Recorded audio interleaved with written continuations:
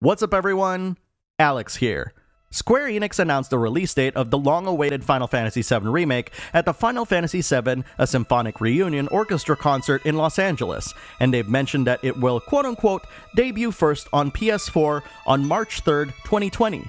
Let those words sink in as the possibility of ports increase with that phrasing. More info on the Final Fantasy VII Remake will be revealed today at Square Enix press conference starting at 6 p.m. Pacific time, so be sure to tune into that or subscribe to this channel for future updates on the game. But for now, enjoy this trailer.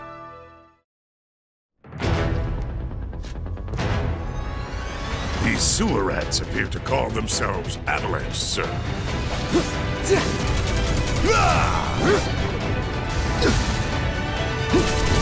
You think he's a keeper? Oh my god.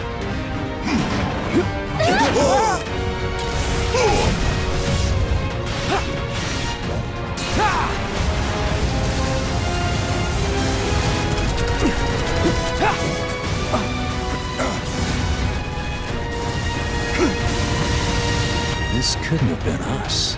But what if it was? What's done is done. It ain't pretty, but we can't stop now. This was just the first reactor.